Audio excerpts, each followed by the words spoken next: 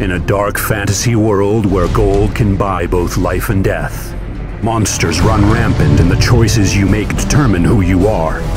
Four unique heroes embark on a journey of adventure and mystery. Based on the best-selling video games and books comes a new kind of board game storytelling experience.